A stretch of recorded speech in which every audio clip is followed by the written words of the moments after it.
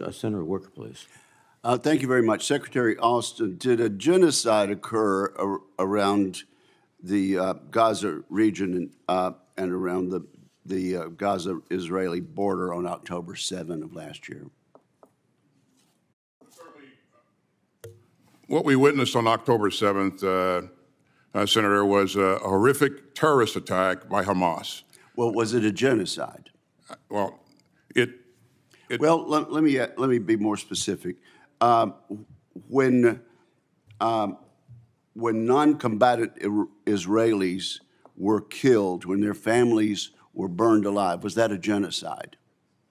well, I again, uh, Israel suffered a, a terrific blow when. Well, uh, okay, so uh, you're not willing to call it a genocide. I- Was was it a war crime? it certainly is is a war crime. And uh, when um when non-combatant Americans were taken prisoner by Hamas, was that a war crime?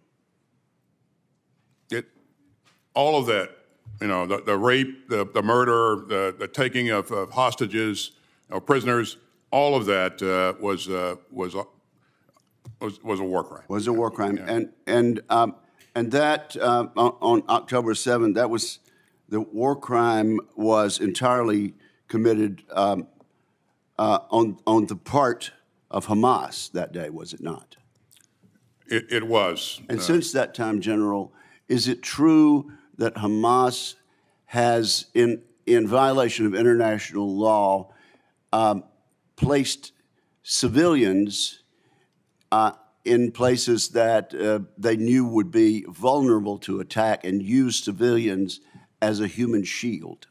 We've consistently seen Hamas use civilians as, as, for, as, as During as the time shields. since October 7 in, in Gaza, right? That's right. And that is a continuation of war crimes, is it not? It, it is. Secretary Austin, if, if Hamas laid down their arms today, would the conflict stop in and around Gaza? It would stop, would it not? It, um, we certainly would hope so, uh, but uh, you know that's left to be seen. And I don't want to speculate, but but uh, that's the Well, goal. Who, start, who started the conflict on October 7th? Hamas initiated this this conflict, Senator. If, if Israel laid down its arms today, would Hamas stop their aggression against Israel? Um, I seriously doubt that. They, they wouldn't, would they? All right. I, I think we I think um, we we've made that clear. Let me let me ask this, uh, Secretary Austin, uh, with regard to Indo-PACOM. Um, Admiral Aquilino has uh, convinced, I think, convinced us that a standing joint task force of uh, a, a separate standing joint task force for operations is needed. Are you in support of um, Admiral Paparo going forward as soon as possible with this standing joint task force? Well, let me just say that you know it's clear from our strategy and our budget requests, which is linked to our strategy, that the, the PRC remains our pacing challenge.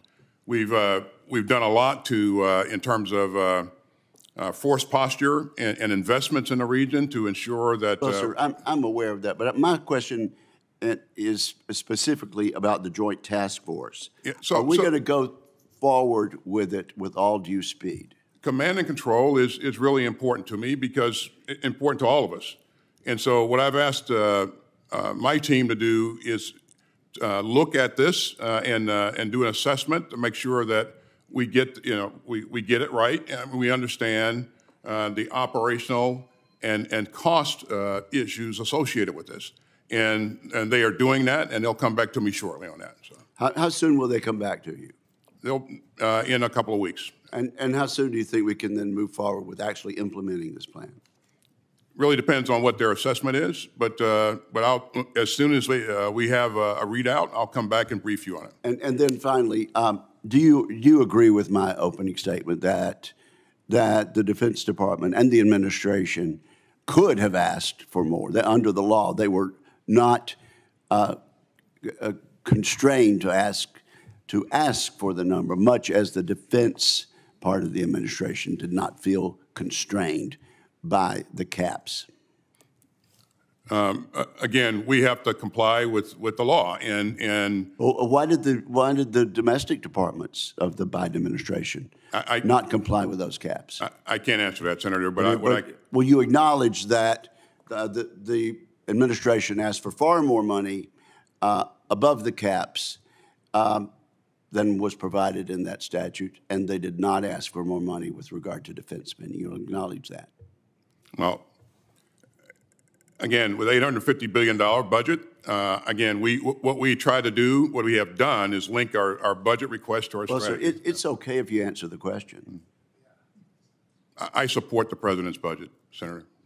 Would you acknowledge that the, the president's budget request with regard to domestic spending was far in excess of the fiscal responsibility cap? I, I, I can't speak to the domestic uh, uh, budget. I can only speak for the defense budget. Thank you, Mr. Chairman. Thank you, Senator Wicker. Senator Shaheen, please. Thank you. Thank you, Secretary Austin, General Brown, and Undersecretary McCord for your service